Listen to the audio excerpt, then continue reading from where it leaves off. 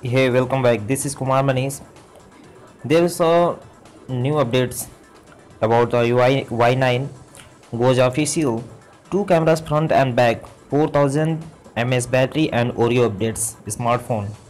Huawei has announced the Y9 2018 mid-ranger in Thailand, a phone that shares a lot of wheels with the Mate 10 Lite and puts them in a redesigned package this is the smartphone that's are looking great.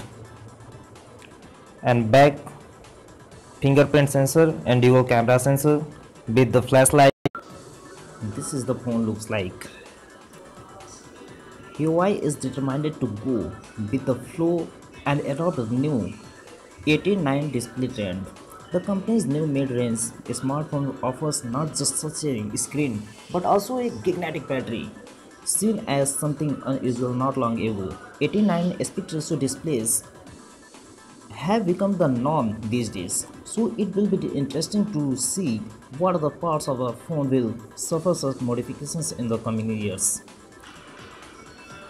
Anyway, Huawei's newly introduced Y9 2018 smartphone supports a 5.93 inch display with full HD plus resolution 2160 into 1080 pixels and 18:9 aspect ratio. Hardware wise, the handset is quite decent since Huawei is included on octa-core Kirin 659 processor, 3GB of RAM and 32GB expandable storage.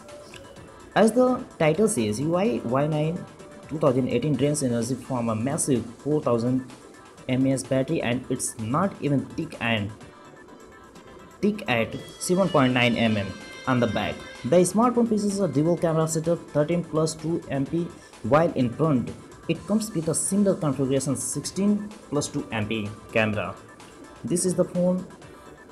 I have a gold color and blue color. It has a dual rear camera with LED flash.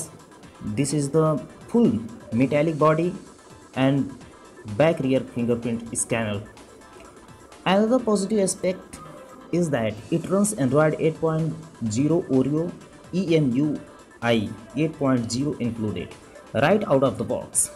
The phone has a fingerprint sensor on the back which is made out of the metal. The smartphone is available in three colors black, blue and gold but we have it to learn about its price although rumor has it will sell for around 200 euros near about 16000 Indian rupees. It's only been introduced in Thailand but we can safely assume Huawei will make it available in more countries very soon. If you are interested please subscribe this channel and share and give a like. Thank you.